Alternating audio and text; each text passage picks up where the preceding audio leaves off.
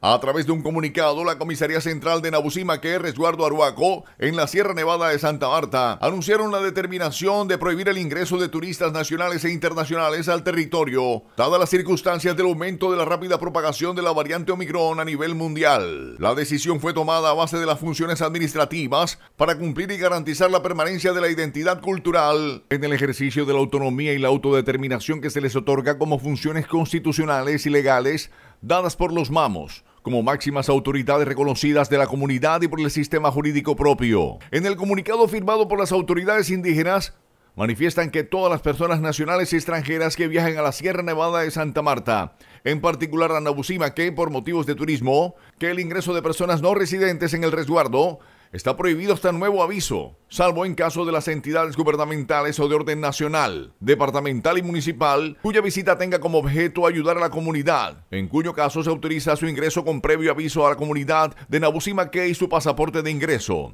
También dejan en claro que el ingreso será autorizado solo por las autoridades del resguardo, incluso los residentes del pueblo aruaco que hayan salido a la ciudad y regresen deben tomar las medidas preventivas de bioseguridad. Esta medida comenzó a regir desde el 13 de enero de 2022 y será estrictamente cumplida por el personal que se encuentra en el portón de Pueblo Bello vía Anabusimaque. Según el Ministerio de Salud en el país, los contagios por COVID-19 en la población indígena suman 73.380 a cierre del 7 de enero de 2022. De esta cifra en el departamento del Cesar se han confirmado 1.938 casos positivos, siendo la etnia aruaca la más afectada en los municipios de Pueblo Bello y Valledupar. El resto de los contagios entre las distintas etnias se han detectado en los municipios de San Martín, San Diego, San Alberto, La Paz, Manaure, Río de Oro, Pailitas, Curumaní, Agustín Codazzi y La Paz, entre otros.